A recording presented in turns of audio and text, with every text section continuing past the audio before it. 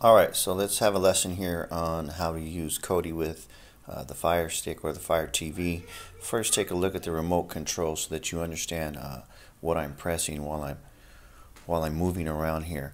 Um, so this is our directional pad, and if you press in the middle of the directional pad, that's what I call select. Okay, uh, I will often use the back button here and then this button with the three lines is what I call the options button. Now these other buttons do work, but they only work with the Amazon Fire Stick. So if you hit home, it's not going to take you to the home of Kodi. it's going to take you to the home of, of Amazon. So don't press that at all really. Okay, so having said that, let's go ahead and take a look now that's what the home screen of the Amazon Fire Stick looks like. Uh, all those apps like like Netflix and Showtime and all that, those are all available for you to use uh, if you want to put in your login and stuff. But to be honest, all the content that they have is already in Kodi. All right, so let's go ahead and let's access Kodi because it's not on the home screen. I understand it's not convenient, but that's just how these things go. So you see home highlighted on the left there. You want to scroll all the way down to settings, okay? Then you want to scroll to the right where it says applications. Select. Go all the way down to where it says manage installed applications. Select. And let's go ahead and find Kodi and we're going to launch it. There's Kodi pause right here for a second. Do not clear data or you will erase everything.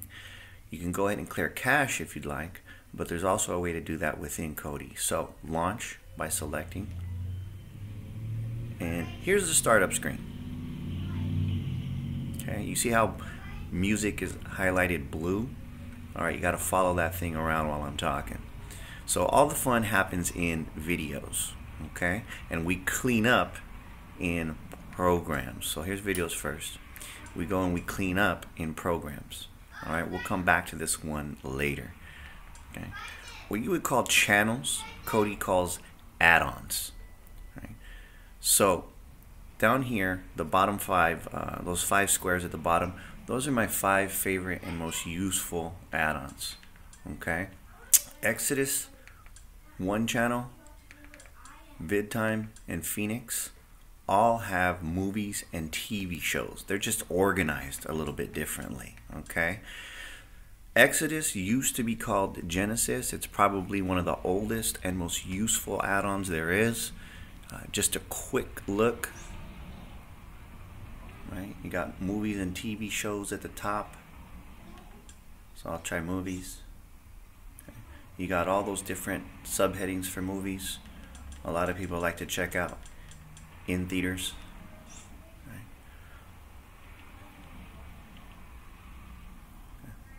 So we're looking at these movies right here. Uh, let's see. All those there, all those there.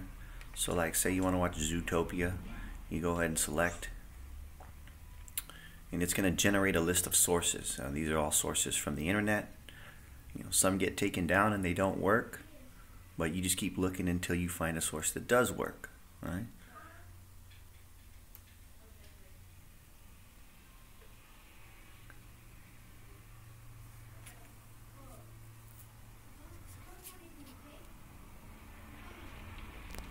Still generating the list. All right, so look there's all your sources and there's more and more and more if you scroll down to the very right of each list says the word cam.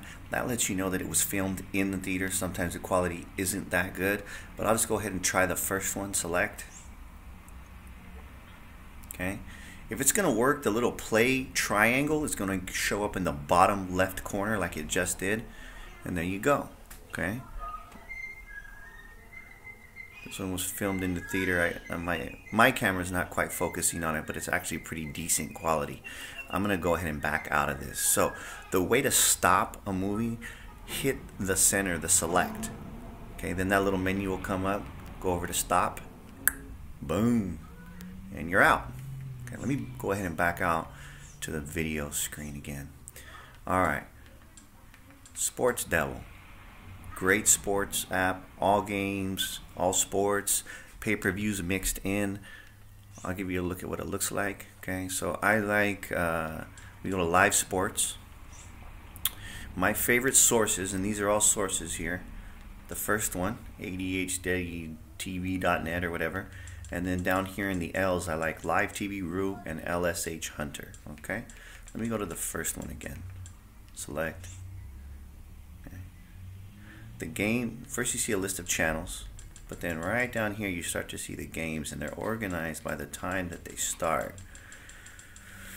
So, let's pick one that we know has already started. These look like they're all like uh, soccer games, right? Most of this stuff, most of these feeds come from Europe, so there's a shit ton of soccer on here.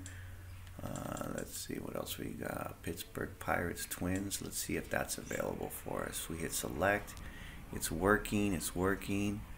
Sometimes there it goes. All right. Let's, so, boom. You got your baseball game. Commercial break is in progress. Uh, let's hang on here until it comes back in. All right.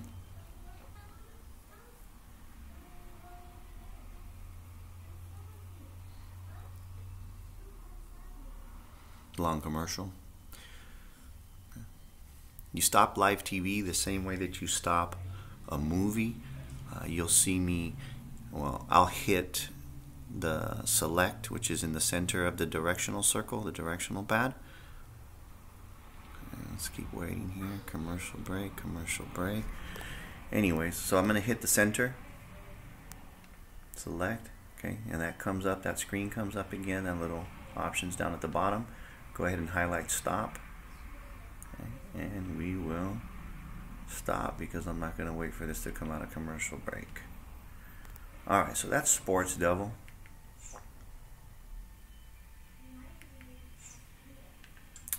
VidTime and Phoenix are made by the same group pretty much. They uh, organize their content in their own way. So you got movies and TV shows at the top. USA right now. USA TV right now are live feeds from the US, like TV. Uh, if you go down to Perch Picks, this guy named Woody, he puts up all these games. So all these hockey games right here. That guy loves hockey keep scrolling down and you'll see all the baseball games. Great stuff. Then you scroll down even further. Oh, look, there's all the March Madness. Boom. Hello. And then you scroll down even further and there's live TV. Alright, I'm going to go ahead and back out now. So those are just my five favorites. If you go ahead and highlight right under videos where it says add-ons, select. This is a list of all of the add-ons and you're just going to have to play around with this yourself and see which ones you like. I'm backing out here now. Okay, I said earlier you're going to need to clean up in programs. So here's programs. About once a week, I suggest you go in and you clear out any cache, any memory, uh, because these things do have rather small memories, and it might slow down if you start to get uh, start to build up too much. So at any rate, where it says raw maintenance, that's where I go to clean up. Select. You got three options there. You want to choose maintenance, select, and then you want to do all three of these right here. Clear cache, seven files found, let's delete them. Okay. Purge packages, no packages found, so we don't need to delete. And then thumbnails. And after you delete thumbnails, it's going to give you an extra message here that says, please restart Kodi. Okay, so we're going to go ahead and I'm going to show you how to shut this down properly. Instead of just changing the TV to a different uh, input or something like that, or unplugging it, uh, go ahead and go down here, highlight down here where you got the little on and off icon. There it is. Hit it once, hit it twice, and just wait. Alright, hope that was easy and thorough. Enjoy.